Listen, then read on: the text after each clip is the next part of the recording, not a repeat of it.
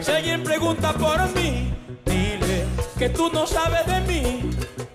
Hoy en Bravísimo resaltaremos las diferentes facetas de un artista muy querido por el público que durante varios años nos ha deleitado con su extraordinaria voz. Él es Silvestre Dangón. Que si alguna vez tú sales embarazada, es por y gracia del ángel Gabriel. Yo describo a Silvestre Dangón como uno de los mejores cantantes que, que ha parido Colombia. Yo creo que, es una persona que, que todo lo, lo, lo, lo, que ha hecho lo ha hecho a pulso. Y bueno, como persona es una excelente persona, una persona muy inteligente y muy creativa. Y con mi madre querida, lo que más quiero, lo que más quiero. A muy temprana edad, el artista descubrió su gusto por la música e inició su exitosa carrera que le ha merecido reconocimiento nacional e internacional. Y con su estilo único ha encantado con sus shows. La música es de impulso, emociones, sentir. Estoy confuso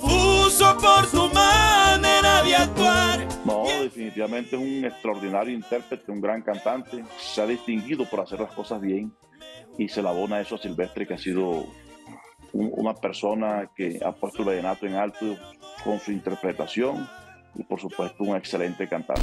Te juro que quisiera que tú me perdonaras. Revolucionó la tarima en el vallenato ha sido una persona que, que ha aportado mucho en, este, en, en, esta parte de imágenes, en esta parte de show. No tiene otra palabra sino decir fenomenal. Bueno, ver un público feliz no tiene precio. Yo después que ellos estén felices, ya yo me doy por bien servido. Yo me debo al público. Te vi llegar, no pude evitar preguntarte. Una de las facetas más recordadas por el público es la de jurado cuando participó en dos temporadas de un importante reality que buscaba talentos. Allí se le vio disfrutar como un niño en este rol e inspirar a nuevas generaciones de la música. Él habla mucho, mucho con el corazón. Es también una persona que, que le gusta decir las cosas, se queda callado. Se concentraba mucho, se metía mucho en el papel, eh, vivía la música. Para nosotros los artistas es, es un buen ejemplo. Que yo aprendí bien la lección. Como imagen, Silvestre Dangón representa la cultura colombiana. No, es, yo digo que es un referente. Ella es un referente de la música, no tanto del vallenato, pues, sino de la música colombiana. Es un referente de, de, de, de, Colombia ante el mundo.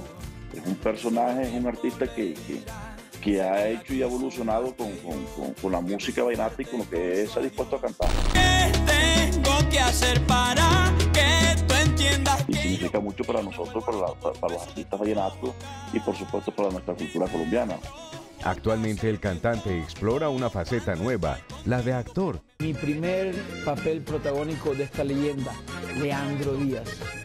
Y tú te lo vas a perdonar. Señores, vengo a porque se escucha su verso aquí y en el mundo entero. Soy fanática de Silve de, de, siempre, silvestrista de corazón. Y realmente Silvestre está haciendo un papelazo, ¿no? Porque de, de cantante a ser eh, una persona ciega es una cosa muy compleja. Y él lo ha logrado. Yo sé que, yo sé que les va a llegar muchísimo esta novela. Juego con los ojos del alma.